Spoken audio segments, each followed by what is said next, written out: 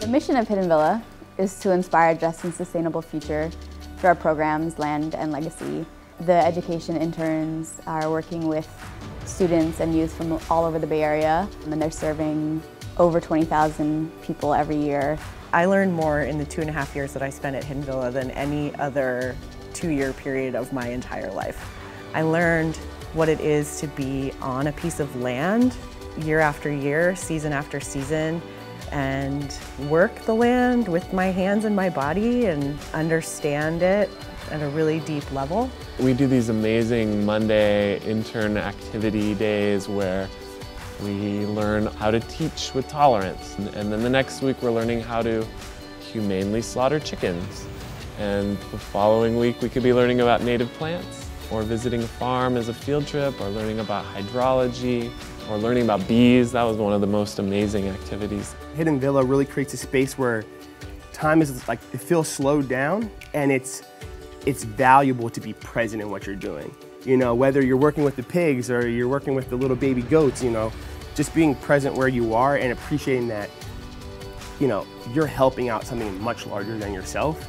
We're more focused on growing the intern than we are growing pork chops or, you know, growing wool. Hidden Villa really is intentional about their internship program. It's not an afterthought, it is of the focus. Some of them had never been on a hike before and you get to take them on their first hike and they get to like take their shoes off and go into the creek or climb a mountain and howl like a coyote and you get to go into the garden and they learn where their food comes from. And that was huge for me too. Like i had no idea what broccoli growing in the ground actually looked like um, before i came here.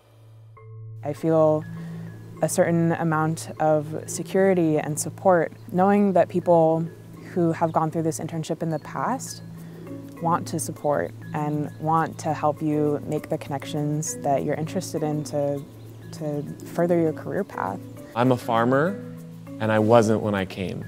Uh, I was interested in the natural world, I was interested in education, I was interested in learning how to grow food for more people, but I also got to rub shoulders with some amazing people. One of the biggest things I got out of Hidden Villa and out of my internship here was just the ability to communicate you know like what is the meaning? What is the value of of any kind of organization? And how to communicate that to different audiences to board members versus like the staff who are doing the programs. And so just knowing that it's it's a really deep and powerful experience and that you'll come out a different person than you probably were in the beginning. A lot of my mentors here would talk about how hidden villa has this way of just shifting people's trajectory just a little bit. It's been many years um, now since I was an intern here, and it's incredible to look back on this trajectory and see how I've, you know,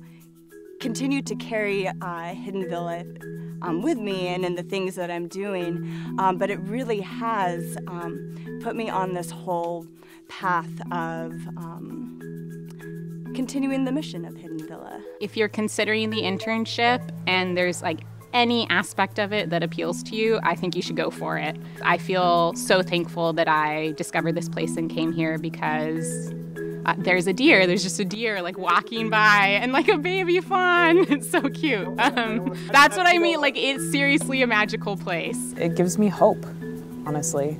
This is where other people started out too. And have gone on to do incredible things and that that really has given me some courage to move forward um, and to be bold with the moves I make next. And I'm not going to be afraid of what I want anymore. I'm going to go out and get it.